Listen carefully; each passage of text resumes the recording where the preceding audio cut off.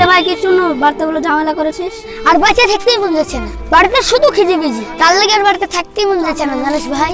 ঠিক আছে আমি বুঝতে পারছি তোর মাথায় খুব টেনশন ঠিক আছে আমি কাল বেড়াতে যাচ্ছি চ আমার সঙ্গে। তাহলে যাতে তোর মাথার টেনশনটা দূর হয়। ঠিক আছে যাব ভাই।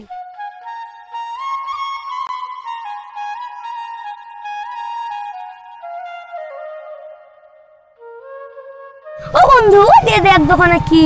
চল না ওই দোকানে কিছু খাব। খুব খিদে লেগেছে রে। চল যখন বলছিস কিন্তু সাবধানে। এখানকার মানুষ খুব একটা ভালো না। চল তাও দেখি। ভাই আপেল কত টাকা কেজি? এক টাকা কেজি। এই প্যাকেট কত টাকা করে এক টাকা করে। আঙ্গুর কত টাকা করে এক টাকা করে। এই দোকানের সমস্ত। কিছু। এক টাকা করে। এই দোকানের সমস্ত কিছু এক টাকা? এ কোন দেশে এলাম রে বাবা? ভাই সত্যি সমস্ত কিছু এক টাকা করে? হ্যাঁ গো ভাই হ্যাঁ। এমন কি? এক বিঘা জমি নিলেও এক টাকা। বন্ধু তুই বাড়ি চল যা আমি আর যাব না। আমি এখানে এক বিঘা জমি কিনে থেকে যাব। এখানকার মানুষজন ভালো না চ পারলে চ। না না আমি যাব না তুই চল যা দেখ ভাই বিপদে পড়বে কিন্তু তুই। কোনো বিপদে পড়ব না তুই চল যা এত করে ভুলিয়া যখন না যাবে তখন চলে গেলাম। বিপদে যখন পড়বে তখন আমাকে একবার ডাকিস শাক চলে গেল। আজ বাড়িতে কেউ নাই বাড়ি যা কিছু আছে সব চুরি করে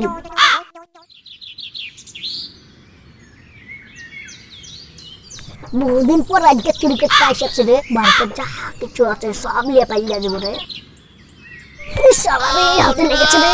দিকে কি লাগবে এই বিচার রানীর কাছে দিতেই হবে। বাড়ি করে আছে কোন শক্তি কি রে বাঙ্গা দিয়েছে না?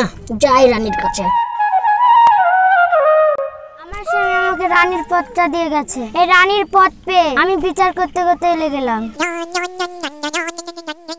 তোমার বাকি হলো কানতে কানতে উঠেছিলে? রানী চুরি করতে যে আমার মাঝখান লোকটা নাই কেন? এত করে করে কেউ বাড়ি করে চুরি করতে পারছি না। আমি বাড়ি আলো ফাঁসি যাই। তুমি চুরি করতে যে চুরি করতে পারোনি? না রানী এই বাড়ি আলোকে ধরে এনে ফাঁসি দেন। ঠিক আছে ওকে ধরে আনা হচ্ছে। সেনাপতি বাড়িওয়ালাকে ধরে আনেন গা। ঠিক আছে রানী যাচ্ছি। তুমি দাঁড়াও বাড়িওয়ালাকে ডাকা হচ্ছে। রানী ঠিক আছে তোমরা দাঁড়াও আমি দেখছি। আপনার ফাঁসি হবে। আমার ফাঁসি হবে? রানী আমার অপরাধটা কি? তোমার অপরাধ তুমি বাড়ি করেছ শক্ত করে। সেই কারণে তোমার বাড়িতে কেউ চুরি করতে পারেনি। তাই তোমার ফাঁসি দিব। রানী আমার তাতে তো দোষ নেই। বাড়ি তো আমি করিনি মিস্ত্রি তো করেছে। তাহলে তো ফাঁসি মিস্ত্রিকে দেওয়ার কথা। বাড়িটা মিস্ত্রিতেই শক্ত করে করেছে। এতে আমার দোষ নেই। তুমি ঠিক বলেছ মিস্ত্রিকে ধরে আনা হোক। যাও তোমরা মিস্ত্রিকে ধরে আনো।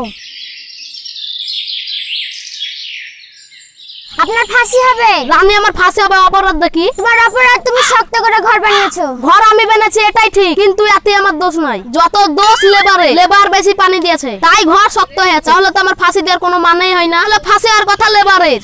যাও তোমরা লেবারকে ধরে আনো।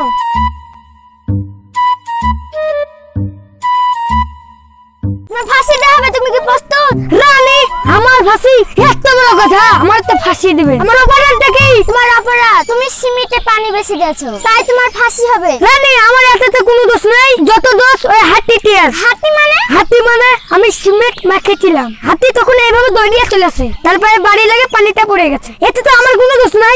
যত দোষ ওই হাতি দেয়ার তাহলে তোমার পানি হাতিটাই ফেলে দিয়েছিল? হ্যাঁ। যাও তাহলে তোমরা হাতিটাকে ধরে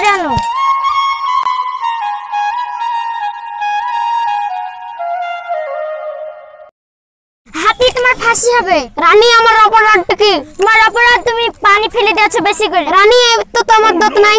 যত দত ওর মেয়ে তার। ওই মেয়ে তার বালির তোর দেয় আমি পেলে লাগালছি আসি ওই মেয়েটাকে দিয়া হোক। যাও মেয়েটাকে ধরে আনো। রানী আমাকে ধরে আনেছে কিসের জন্য? তোমার ফাঁসি হবে তুমি কি প্রস্তুত? তোমার অপরাধটা কি? তোমার অপরাধ হলো যে কি তোমার কারণে হাতিটা বেশি পানি ফেলে দিয়েছে তাই তোমার ফাঁসি হবে। আমার কারণে মানে? ঝুমকোর শব্দে হাতিটা ভয় পেয়ে গেছিল তাই তোমার ফাঁসি দেওয়া হবে। তাহলে তো আমার কোনো দোষ নেই। যত দোষ স্বর্ণ করে স্বর্ণ কর ঝুমকার আওয়াজটা বেশি দিয়ে দিয়েছে। তাহলে ফাঁসি হওয়া স্বর্ণ করের উচিত। যাও তোমার স্বর্ণকারকে ধরে আনো। তোমার ফাঁসি হবে তুমি কি প্রস্তুত? আমার অপরাধটা কি তোমার অপরাধ তুমি ঝুমকোতে বেশি আওয়াজ দিয়েছ। কারণে আমার ফাঁসি দিবেন? হ্যাঁ তুমি কি প্রস্তুত? হ্যাঁ রানী আমি প্রস্তুত। যাও তোমরা একে ফাঁসি দিতে নিয়ে যাও।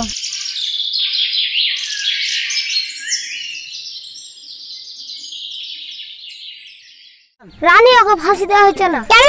ওর গলা চিকন সে কারণে দড়ি আটকাচ্ছে না। ঠিক আছে ওকে ছেড়ে দে। এমন একজনকে ধরে আনো যার গলা মোটা তাকে ধরে আনো। ঠিক আছে রানী।